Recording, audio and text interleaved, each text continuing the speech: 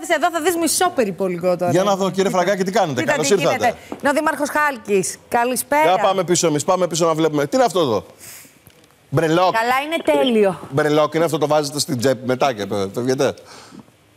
Καταρχάς, καλησπέρα σε Καλησπέρα. εσά και στους τηλεθεατέ Καλησπέρα. Από ό,τι βλέπετε, είναι λίγο πιο κοντό από μένα. Ναι. Οπότε, ναι, μπορεί να παίξει και το ρόλο του Μπρελόκ.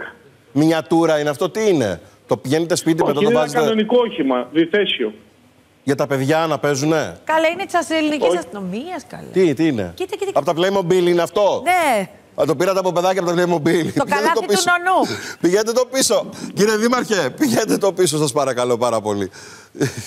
Θα λείπει από Είναι ένα κάποιον. κανονικό όχημα, ηλεκτρικό όχημα, Citroën Ami, το οποίο έχει δωρηθεί στον ε, Δήμο Χάλκης και εκείνος το έχει δώσει στην ελληνική αστυνομία στο, λιμεν- στον αστυνομικό σταθμό της Χάλκης. Μπορείτε να δείτε δίπλα και το λιμεναρχείο το όχημα.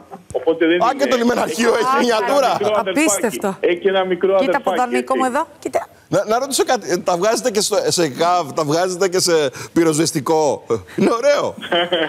Δεν- δεν ε- εδώ δεν έχουμε θέμα πυρκαγιάς, οπότε έχουμε τα λιμάνια μας, οπότε χρειαζόμαστε το Αεροπλανάκι λιμενικό μας τέτοιο. σταθμό. Θα ήταν ωραίο. ωραίο. Για- Ελάτε κύριε Φακάκη, ελάτε, ελάτε, ελάτε.